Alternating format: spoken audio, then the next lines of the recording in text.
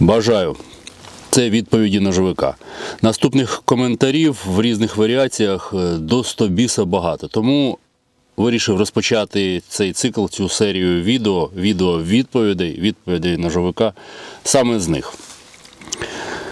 Це треба про бать бика, зброю і знайти ще одного такого телепня Ты должен про, снова це слово, свое подразделение, автомат, пистолет, э, гранаты и найти второго такого же долба...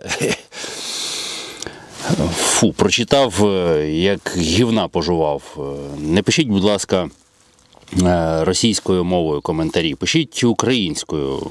Пишіть коментарі українською, друзі, навіть такі йобнуті. Е, Третє. Е, То ще треба умудритися всю зброю проебать, е, та щоб з ножем залишитись і ще одного такого зустріти. Ну і так далі, в такому ж е, дусі, в такому ж стилі. Це класика.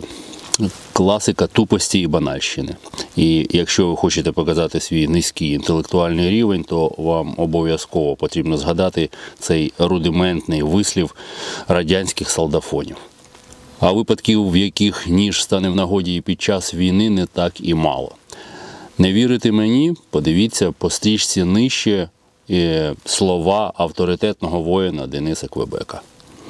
А побутове нарізати хліб, відкрити банку консерви, вскрити цинк, розрізати мотузку, розпакувати, а там потрібен ніж, тубус з підміни, розрихлити землю для ніші в окопі.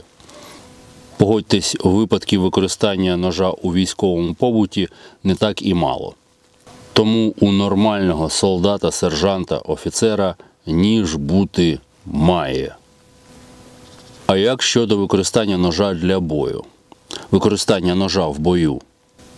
Е, Війна, шановний любитель совкових анекдотів, буває різна.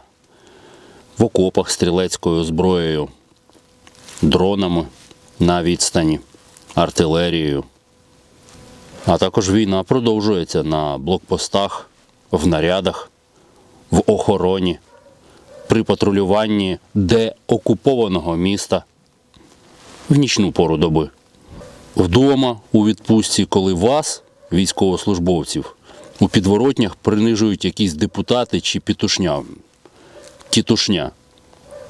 Може, вам не потрібно вміти захищати себе, своїх рідних, своє життя, свою честь. Ну, і випадок, про який розповів Квебек, коли у нашого бійця клинить автомат при контакті на відстані 10 метрів, і він, не розгубившись, скориставшись ножем, знищив противника, це не поодинокий випадок. Я збираю такі випадки в колекцію, таких випадків багато. Ну і хто тоді довбойоб? Вибачте за непарламентську говірку. Я про що? Ніби ж однією справою займаємось, панове. А ви дозволяєте собі дику дичину множити і повторювати. Забудьте вже ці савдепівські рудименти. Досить вже бути терпилами. Добре? Зустрінемось в наступних відео. Тримайте ножі гострими і удачі в бою!